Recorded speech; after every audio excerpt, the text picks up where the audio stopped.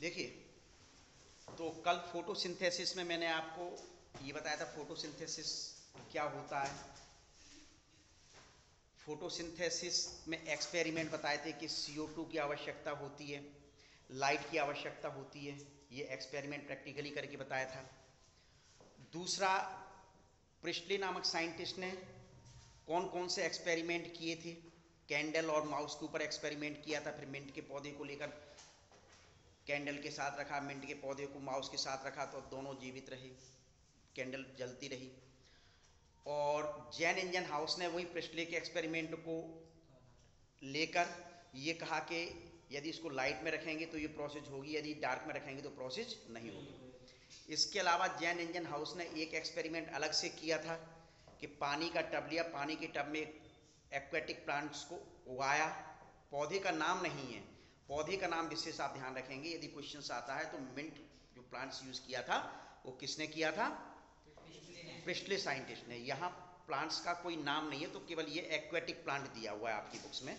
तो aquatic plant को लेकर मुख्य रूप से तो वहाँ क्या देखिए कि जो जिस जगह से ऑक्सीजन निकलती है, अभी ऑक्सीजन पता नहीं है, जिस जगह से ऑक्सीजन निकलती है, यानी फोटोसिंथेसिस प्रोसेस होती है, उस जगह से बबल्स निकलते हैं। क्या ये एक्सपेरिमेंट मुख्य रूप से किसने किया था? जैन इंडियन हाउस ने। फिर इसके अलावा भी बहुत सारे एक्सपेरिमेंट हैं।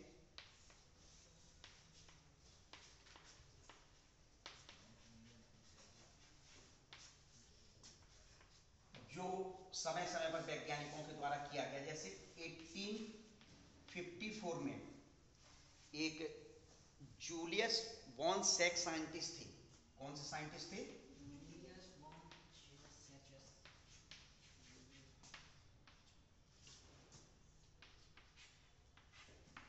सेक्स साइंटिस्ट थे, इन्होंने एक्सपेरिमेंट किया था फोटोसिंथेसिस के ऊपर तो इन्होंने मतलब कुछ बातें बोली थी। क्या बातें कही थी इन्होंने? जैसे सबसे पहले मतलब इन्होंने ये कहा था कि फोटोसिंथेसिस प्रोसेस के दौरान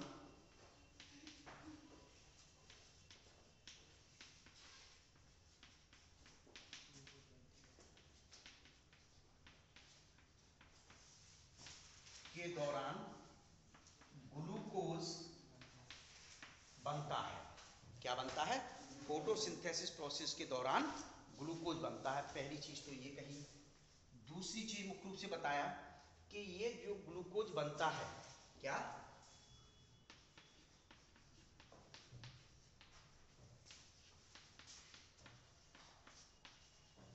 प्लांट्स के ग्रीन पार्ट में, क्या? यानी कि मतलब ये कह दिया जाए लीव्स में बनता है। किसमें बनता है बेटा? लीव्स में मुख्य रूप से ये ग्लूकोज बनता है। अब लीव्स के पार्ट में जो बनता है तो लीव्स में ऐसा कौन सा भाग होता है जिसमें मुख्य रूप से ये ग्लूकोज बनता है? इन्होंने यह भी बताया था। इन्होंने मुख्य रूप से ये कहा, एक स्पेशल बॉडी होती है। क्या? चूँकि उस समय क्लोरोप्लास्ट की खोज नहीं हो पाई थी क्लोरोप्लास्ट इनको नहीं पता था तो इन्होंने ये कहा कि प्लांट्स की जो लीव्स होती हैं, उसमें जो मीजोफिल सेल्स पाई जाती मीजोफिल सेल्स में एक विशेष प्रकार की कोई संरचना पाई जाती विशेष प्रकार की कोई बॉडी पाई जाती है, क्या? उसमें इस ग्लूकोज का फॉर्मेशन होता है, उसमें ग्लूकोज का फॉर्मेशन होता है तो वहाँ सिर्फ़ स्पेशल बॉडी यूज़ किया गया था स्पेशल बॉडी में ग्लूकोज का निर्माण होता है तो यहाँ स्पेशल बॉडी की आप चाहें तो ब्रैकेट में लिख लेना क्लोरोप्लास्ट यानी क्लोरोप्लास्ट में मुख्य रूप से क्या निर्माण होता है? ग्लूकोज का निर्माण होता है, पहली चीज़ मुख्य रूप से ये। दूसरी बात इन्होंने क्या कही? कि ग्लूकोज फोटोसिंथेसिस प्रोसेस के दौरान बना तो ग्लूकोज फोटोसिंथेसिस प्रोसेस के दौरान बना तो लेकिन ये प्लांट्स में कैसे स्टोर रहता है? क्या ये स्टार्च फॉर्म में स्टोर रहता है। किस रूप में? ग्लूकोज। स्टार्च फॉर्म यानी रूप में संग्रहित।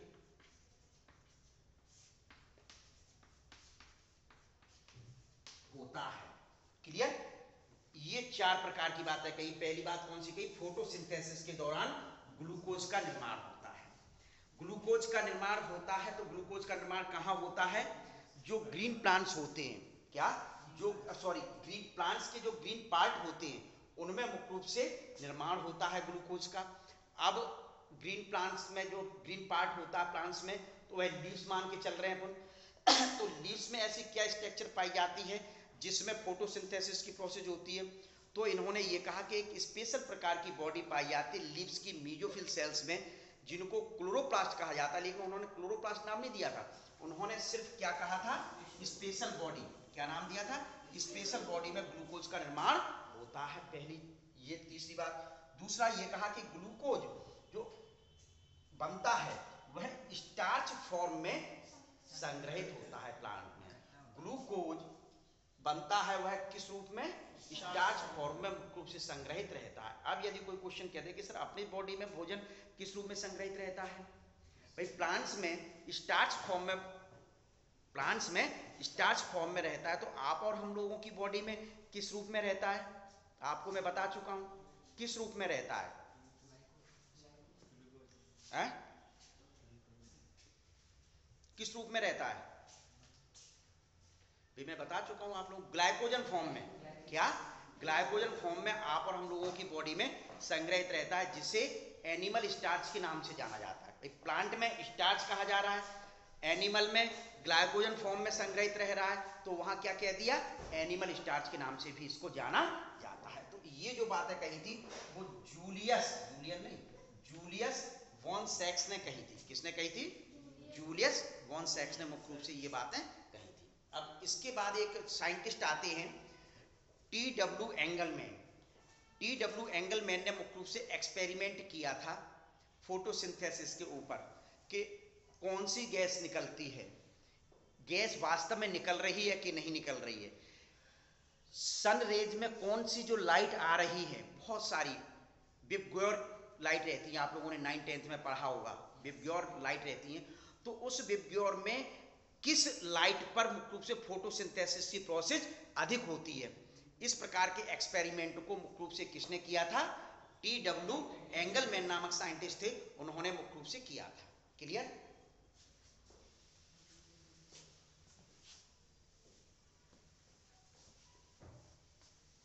तो देखिए T W Engelmann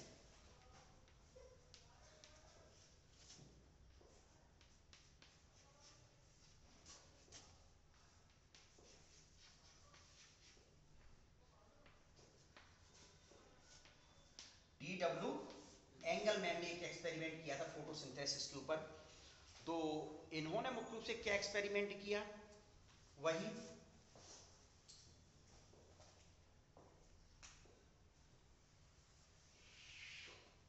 पानी के एक टब को लिया। इसमें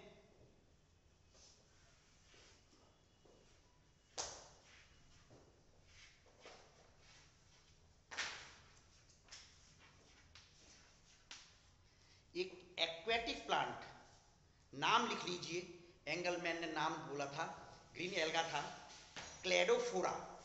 इसका नाम मैं लिख देता हूँ। क्लेडोफोरा। क्या नाम था? क्लेडोफोरा। ये लिया। अब एक्वेटिक प्लांट है तो इसमें अपने को पानी भी भरना होगा बेटा।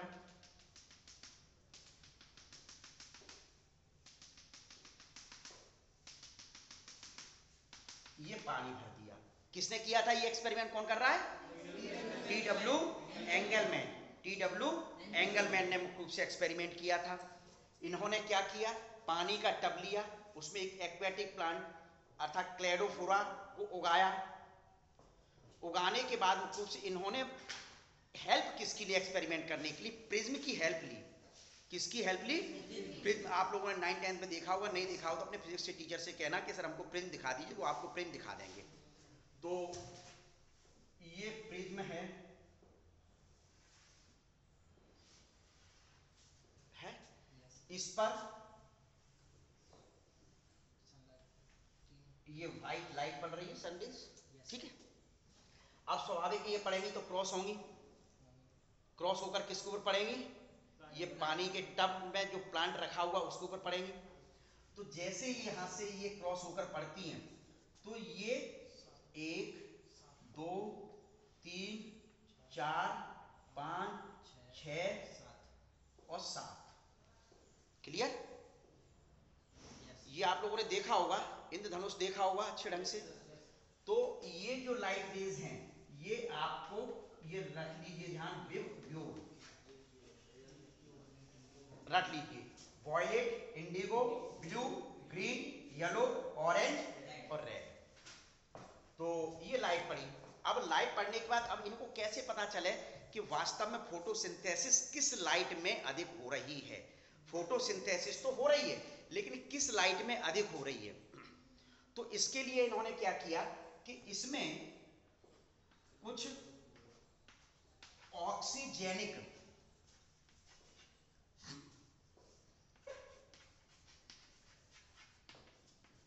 बैक्टीरिया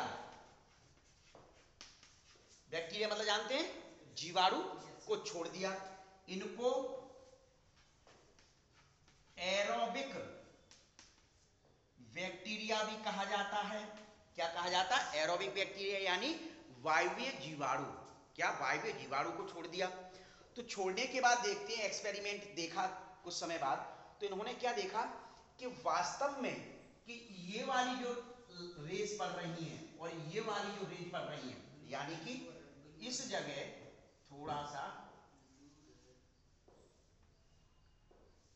ये मैं इसको डार्क किए देता हूँ, ठीक है? ये तीसरे नंबर ठीक?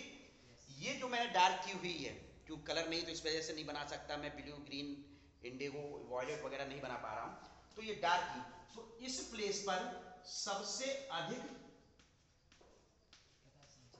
बैक्टीरिया पहुँच गए। इस प्लेस पर। सबसे अधिक बैक्टीरिया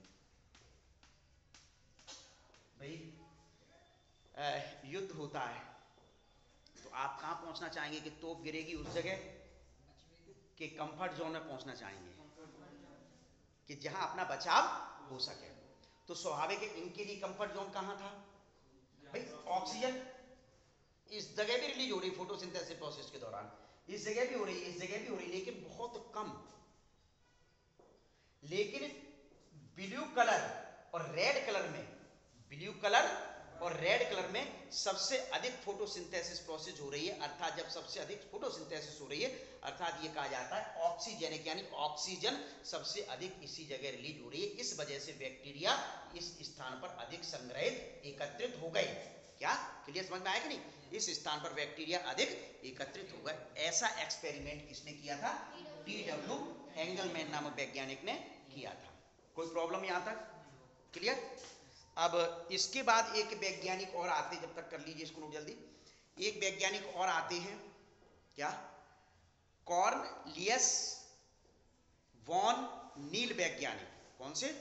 कॉर्नलियस वॉन नील वैज्ञानिक आते हैं। इन्होंने मुख्य रूप से क्या बताया था? कि इन्होंने एक्सपेरिमेंट किया। एक्सपेरिमेंट करने के बाद ये बताया कि वास्तव में जो ऑक्सीजन फ्री रिलीज़ होती है एनवायरमेंट में फोटोसिंथेसिस प्रोसेस के दौरान, प्रकाश संश्लेषण की क्रिया के दौरान जो ऑक्सीजन रिलीज़ हो रही है, जो ऑक्सीजन मुक्त हो रही है, वो ऑक्सीजन CO2 से मुक्त हो रही है कि पानी से मुक्त हो रही है।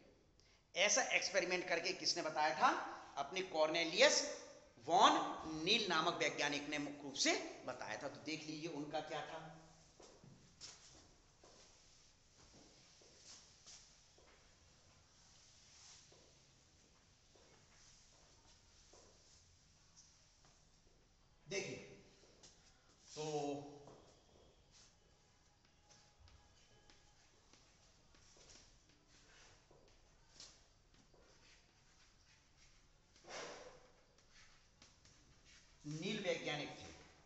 एक्सपेरिमेंट किया तो स्वाभाविक है सबसे पहले मैं आपको ये प्रोसेस लिखे देता हूँ।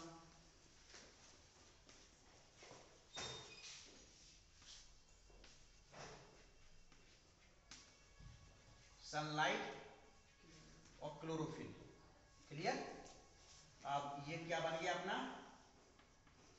ग्लूकोज बन गया। पानी भी बना। और सिक्स ओ टू। ये एनवायरमेंट में मुक्त हो रही है। क्लियर यही ऑक्सीजन का आप और हम लोग प्रयोग कर रहे हैं। इसी ऑक्सीजन का आप और हम लोग प्रयोग कर रहे हैं। यानी कोई भी एनिमल जो वायवीय शोषण करते हैं, वो यही ऑक्सीजन के फलस्वरूप भोजन का ऑक्सीडेशन करते हैं, भोजन का ऑक्सीकरण करते हैं, जिसके फलस्वरूप ग्लूकोज मतलब एनर्जी प्राप्त होती है। आपको पूर्व में मैं बता चुका हूँ। तो स्वाभाविक है कि वैज्ञानिक इनका, कॉर्नेलियस वॉन नील का कहना ये था कि ये जो ऑक्सीजन मुक्त हो रही है एनवायरमेंट में वातावरण मुक्त हो रही है, वो किसके द्वारा हो रही है? ऑक्सीजन यहाँ भी पाई जा रही है, ऑक्सीजन पानी में भी पाई जा रही है, लेकिन ये ऑक्सीजन किस कंपोनेंट से मुक्त हुई है? ये ऑक्सीजन किस कंपोनेंट से मुक्त हुई है? ऐसा मुख्य रूप से इन्होंने करके बताया था। तो इन्होंने मुख्य रूप से ये कहा कि वास्तव में जो ऑक्सीजन मुक्त हो रही है, वो ऑक्सीजन जल से मुक्त हो रही है। क्या इसके लिए इन्होंने क्या किया कि सल्फ़र मतलब मतलब purple and green sulphur bacteria लिए। Purple and green sulphur bacteria को लेकर एक्सपेरिमेंट किया था। तो उन्होंने एक्सपेरिमेंट क्या किया?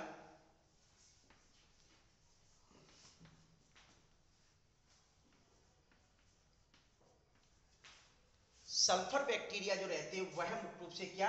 यहाँ पानी का उपयोग नहीं करते या हाइड्रोजन सल्फाइड का उपयोग करते हैं। किसका उपयोग करते हैं? Origin of species by means of the nature मतलब ये जो लाइफ ऑरियन ऑफ़ लाइफ जो मैंने आपको पढ़ाया था, उसके आप देखोगे, छठवीं, सातवें चरण में मुख्य रूप से मेरे द्वारा बनाया, बताया गया होगा उस समय। तो वहाँ आप देख रहे हैं कि ये जो पर्पल ग्रीन सल्फ़र बैक्टीरिया थे, वह हाइड पानी के स्थान पर हाइड्रोजन सल्फाइड का उपयोग करते हैं। तो जिसके फलस्वरूप जिसके फलस्वरूप मुख्य रूप से क्या होता है कि ये भोजन तो बन गया। इधर ये पानी भी बन गया। यहाँ यहाँ कोई अंतर? लेकिन ये जो बनता है,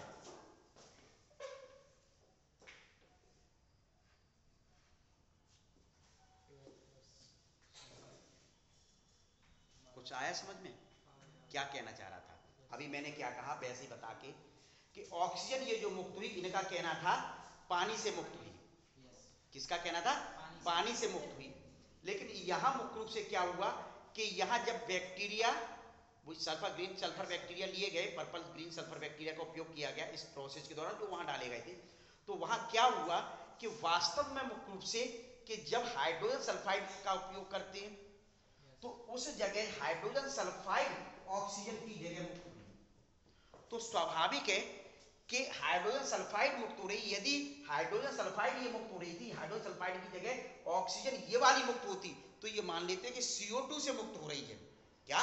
CO2 से मुक्त हो रही है लेकिन चूँकि सल्फ़र मुक्त हो रही है सल्फ़र मुक्त हो रही है इस वजह से ये कहा जाता है कि वास्तव में ऑक्सीजन जो मुक्त हो रही है एनवायरमेंट में वो पानी से मुक्त होती है ऐसा कॉर्नेलियस वॉन नील का कहना था। आगे चलकर, क्या?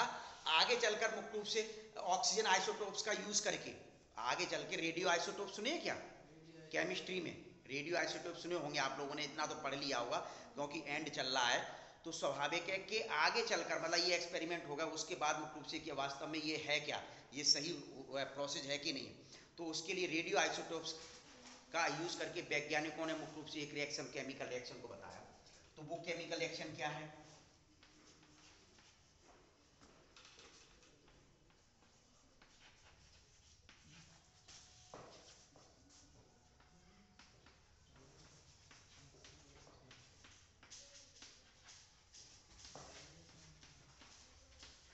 देखिए रेडियो आइसोटोप्स यानी कि रूप, बहुरूप समान रूप जो होते हैं, एक भारी होता है, एक हल्का होता है। मुझे जो केमिस्ट्री पता बायोलॉजी की केमिस्ट्री में जो आता है मुझे ये पता है आप लोग मुझसे ज़्यादा केमिस्ट्री में योग्य होंगे क्योंकि मैं केमिस्ट्री का टीचर नहीं हूँ। आप केमिस्ट्री के टीचर बन चुके हैं, कोई पढ़ चुके हैं इतना। तो यहाँ जैसे इन्होंने एट्टीन आइसोटोप्स को लिया, इधर इन्होंने सिक्सटीन आइसोटोप्स को लिया, पहले इन दोनों को ले लिया आइसोटोप्स में, फिर रिएक्शन हुई। तो रिएक्शन होती है तो क्या देखते हैं कि रिएक्शन के दौरान पहले मैं यहाँ बता रहा हूँ कि ये जो ऑक्सीजन मुक्त हो रही है, वो 18 आइसोटोप्स वाली 18 रेडियो आइसोटोप्स वाली मुक्त हो रही है। रेटिन 18 नंबर की जो यहाँ थी, क्या? ये जो 18 नंबर पे H2O कौन सी ली है ऑक्सीजन यहाँ कौन सी ली है रेडियो आइसोटोप जानते होंगे तो समझ पाएँगे आप लोग। लेकिन यहाँ रट लीजिए, मैं ये कह रहा हूँ कि रेडियो आइसोटोप्स आइसोटोप्स का मतलब समरूप तो यहाँ ये जो ऑक्सीजन ली अपन ने कौन सी ली थी? भारी ली। क्या ली? भारी ली। तो इस रिएक्शन को हुआ भले यहाँ सोलह मत लो। क्या? सोलह मत लो, बिल्कुल कोई ज़रूरत नहीं है। तब भी क्या देखेंगे कि अठारह वाली ऑक्सीजन मुक्त हुई। तो क्या सिद्ध हुआ कि देख लीजिए, बारह ऑक्सीजन है। कितने बारह। छह दूनी। यानी कि पूरी की पूरी ऑक्सीजन जो जल की थी, वो वातावरण में मुक्त हो चुकी है। पूरी की पूरी वातावरण मुक्त है शेष ऑक्सीजन देखो छह छह तो ये और छह ये। छह दूनी बारह ठीक है? तो शेष जो ऑक्सीजन जो होती है ग्लूकोज के साथ और जल के साथ जो मुक्त हो रही है वो कार्बन डाइऑक्साइड वाली होती है। कौन सी होती है? कार्बन डाइऑक्साइड वाली होती है। तो ये कॉर्नेलियस वॉन नील के बाद मुख्य रूप से इस एक्सपेरिमेंट को किया गया था। इससे क्लियर प्रूफ हो गया कि वास्तव में जो ऑक्सीजन वातावरण में मुक्त हो रही है, वह ऑक्सीजन कौन सी होती है? H2O वाली होती है, ना कि CO2 वाली। तो एक एक्सपेरिमेंट मुख्य रूप से साइंटिस्ट द्वारा कॉर्नेलियस वॉन नील द्वारा मुख्य रूप से ये किया गया था। क्लियर अब प्रश्न उठता है कि वास्तव में मतलब आप सर कह रहे हैं कि ग्लूकोज का जो निर्माण हो रहा है, ग्लूकोज का जो फॉर्मेशन हो रहा है प्लांट लीव्स में हो रहा है मीजोफिल सेल्स में हो रहा है। तो वह कौन सी संरचना है? जैसे अभी मैं बार बार बताते चला रहा हूँ कि क्लोरोप्लास्ट की संरचना है। फोटोसिंथेसिस किसमें हो रही है? क्लोरोप्लास्ट नामक एक स्ट्रक्चर होती है, उसमें मुख्य रूप से होती है जो पीछे मैं क्लोरोप्लास्ट की आपको संरचना बता के आया हूँ। लेकिन थोड़ी सी संरचना, उसको का कौन सी प्रोसेस हो रही है? प्रोसेस फोटोसिंथेसिस में जो लाइट रिएक्शन और डार्क रिएक्शन दो प्रकार की होती हैं। वह मुख्य रूप से किस प्लेस पर होती है थोड़ा सा देख लीजिए, जिससे आपका वो क्लियर हो जाएगा। देखिए। अब मैं बीजोफिल सेल्स नहीं बता रहा हूँ लीव्स नहीं बना रहा हूँ, ना बीजोफिल बता रहा हूँ, अब मैं सीधे सीधे उस स्ट्रक्चर को बना रहा हूँ।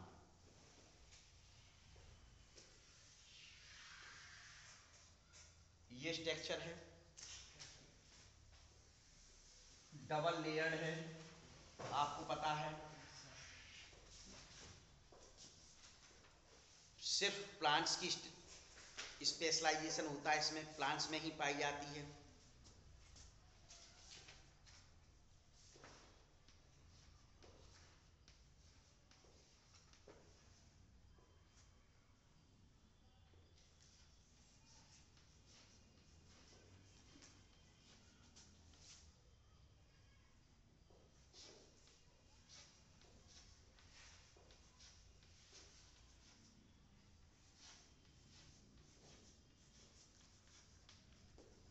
क्या बताए थे? ग्राना, क्या पाए जाते ये पूरा जो ग्रीन पार्ट दिखाई दे रहा है इन स्टाफ को हटा दिया जाए तो ये सबसे पहला भाग स्ट्रोमा कहलाता है। यानी जो मैट्रिक चल रहा था उसको स्ट्रोमा कहा जाता है। ये जो ग्रीन पार्ट दिखाई दे रहा है, ये वाला जो पार्ट है, इसको ग्राना कहा जाता है। क्या? इन सभी को ग्रेनम कहते हैं। मतलब एक को ग्रेनम कहते हैं और सभी को ग्राना कहता है। यानी बहुवचन क्या हो गया? ग्राना हो गया और सिंगल क्या होता? है ग्रेनम ये स्टैक सिक्के के ऊपर एक के ऊपर एक रखे हुए ये वाली जो स्ट्रक्चर है। थाइलेकॉइड होती है। कौन सी स्ट्रक्चर होती है? थाइलेकॉइड होती है। तो पहले क्लियर ये कर लें। फोटोसिंथेसिस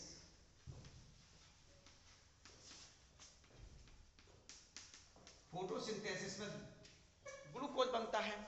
सिंपल इसी वजह से अपन पढ़ रहे हैं। तो ग्लूकोज बनने में मुख्य रूप से दो क्रियाएँ होती हैं। या फोटोसिंथेसिस में दो लाइट रिएक्शन और डार्क रिएक्शन विशेष तौर पर बहुत ज़्यादा एक नंबर में दो नंबर में क्वेश्चन पूछे जाते हैं। लाइट रिएक्शन और डार्क रिएक्शन प्रकाशन से क्रिया में कितने स्टेप हुए? कौन कौन से light reaction dark reaction light reaction कहाँ होती है?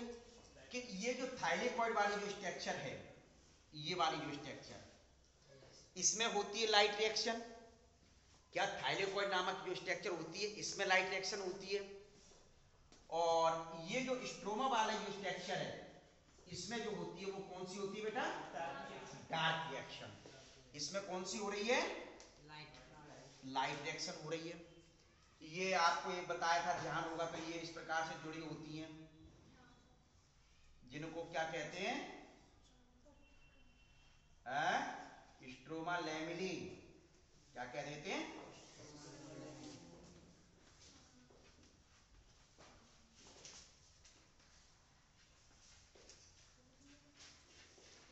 स्ट्रोमा लेमिली के नाम से जाना जाता है। तो ध्यान कर लें, यहाँ मैंने ये क्यों डायग्राम पुनः आपको बताया? डायग्राम के माध्यम से नहीं डटना पड़ता, आप ध्यान कर लीजिए। थाइलेकॉइड में लाइट रिएक्शन हो रही है। थाइलेकॉइड में लाइट रिएक्शन हो रही है। और ये जो ग्रीन पार्ट जो है, इसको डार्क मान के चलिए, इसमें कौन सी रिएक्शन हो रही है? अर्थात प्रकाश संश्लेषण में जो दो स्टेप है लाइट और डार्क लाइट में रिएक्शन में लाइट की आवश्यकता पड़ती है। डार्क रिएक्शन ये नहीं है कि अंधेरे में हो रही है। डार्क रिएक्शन का मतलब ये नहीं है कि अंधेरे में हो रही डार्क रिएक्शन का मतलब है, उसके लिए लाइट की आवश्यकता नहीं होती है। क्या? डार्क का मतलब अंधेरा होता है, ये नहीं है कि अब सर दिन में तो लाइट वाली रिएक्शन हो गई। दिन में तो लाइट वाली रिएक्शन हो गई। अब हमको रात का इंतज़ार करना पड़ेगा, भोजन बनाने का, भोजन तो ग्लूकोज तो पूरा तभी बनेगा फोटोसिंथेसिस प्रोसेस पूरी होगी। तो ऐसा नहीं है। लाइट रिएक्शन के लिए लाइट की आवश्यकता होती है, लेकिन डार्क रिएक्शन में लाइट की आवश्यकता नहीं होती। पहली चीज़ ये ध्यान रख लें लाइट रिएक्शन में एटीपी और एनएडीपी एच बनता है, ये सिर्फ़, ये ऊर्जा है। ये मुख्य रूप से जाकर आपके डार्क रिएक्शंस के अंतर्गत जाकर मुख्य रूप से क्या बनाते ग्लूकोज की फॉर्मेशन में हेल्प करते हैं जाके। पहली चीज़ तो ये। अब प्रश्न उठता है कि ऐसा इस थाइलेकॉइड में क्या होता है? ऐसा इस थाइलेकॉइड में क्या होता है कि जो लाइट रिएक्शन इसमें हो रही है तो स्वाभाविक है कि मैं पूर्व में कल मैंने बताया था आप लोगों को कि सीधे सीधे इसमें कुछ पिगमेंट्स पाए जाते हैं। क्या पाए जाते हैं? कुछ पिगमेंट्स पाए जाते हैं। वो पिगमेंट सन रेज मतलब जो सोलर एनर्जी होती है, उस एनर्जी को ट्रैप करते, पकड़ते हैं। उस एनर्जी को पकड़ते ध्यान होगा मैंने 400 टू 700 एनएम वाली जो वेवलेंथ वाली जो लाइट होती है सिर्फ़ वही पकड़ पाते विशेष ध्यान ये देंगे।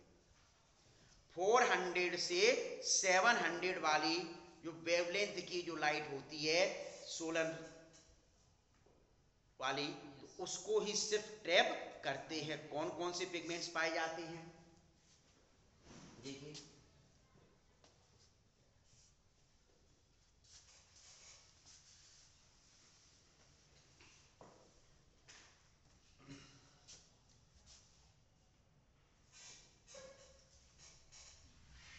थाइलेकॉइड है इस थाइलेकॉइड की मेम्ब्रेन में पिगमेंट्स होते हैं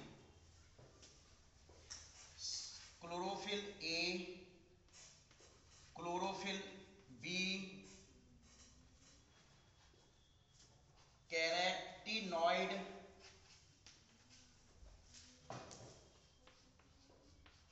और xanthophyll clear chlorophyll A chlorophyll B carotenoid और जेंथोफिल ये चार प्रकार के पिगमेंट होते हैं जो लाइट को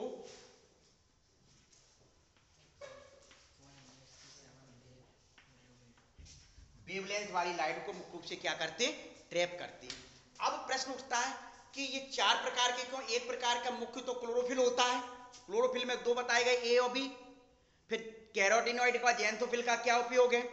क्या कैरोटिनॉइड और जैंथोफिल का क्या तो स्वाभाविक है कि ये पूरी की पूरी जो 400 टू 700 एनएम वेवलेंथ वाली कर रहा हूँ ट्रैप कर रहे हैं तो वो मुख्य रूप से कोई 400 वाली करता है, कोई 450 करेगा, कोई 550 करेगा, कोई 680 करेगा, कोई 700 एनएम की लाइट को ट्रैप करता है। तो इस वजह से मुख्य रूप से पूरी की पूरी वो जो लाइट है वो ट्रैप हो जाए तो इस वजह से मुख्य रूप से इस वाली रेंज की। तो इस वजह से ये क्लोरोफिल इतने सारे पाए जाते हैं chlorophyll a chlorophyll b carotenoid और जैंथोफिल पाए पिगमेंट्स पाए जाते हैं। तो इन पिगमेंट्स के कारण जो सोलर एनर्जी मतलब सोलर की जो लाइट होती है, जो ट्रैप की जाती है, उसके फल से ग्लूकोज का निर्माण पेड़ पौधे करते हैं।